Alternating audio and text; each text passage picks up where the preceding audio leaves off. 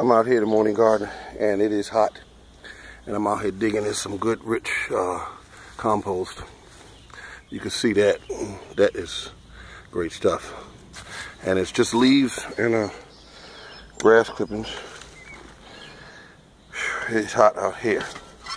So you see all the weeds in it. Or let's say other plants. I'm going to cover this with a tarp to kill all the weeds. So about three weeks later, all of these will be turning into compost because they need sun to survive. I have taken trees out that way. This is rich stuff. Look at that in that bucket. You'd have to pay an arm and a leg for that if you had to buy from someone else. That's it. That's it. That's the good stuff. And I got some of it over here that hasn't been processed yet. And I got these trees over here I'm going to cut down to smaller pieces. I'll put those around the trees. This is grass clippings and see the see the see the stuff growing up out of them. It's perfect. That's growing up out of them. Perfect.